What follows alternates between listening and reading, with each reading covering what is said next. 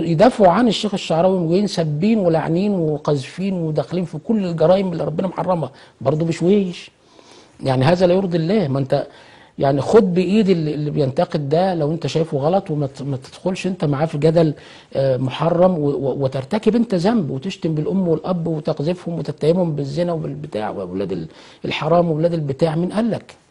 مين قال لك انهم ولد حرام يعني وحرام دي مفهومنا إحنا دلوقتي الدارج في زماننا ولاد الحرام اللي هم مولودين مش من سكة حلال يعني فممكن يكونوا حلال جدا ولو هي حتى متبرجة وطبعا مش ولو هي حتى ده وهي كده آه تبقى بنت حلال يعني وأبوها متجوز أمها وعايشين زي الناس و- وكل وكل راضي راضي ربنا في الجزئية دي.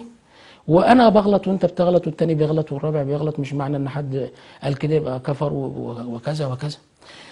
وارد إن يجي وقت كمان دي بقى حتة تانية مهمة جدا. وارد إن يجي وقت حد بيتكلم بشيء معين بفتوى معينة في زمن لظروف ما وتتغير.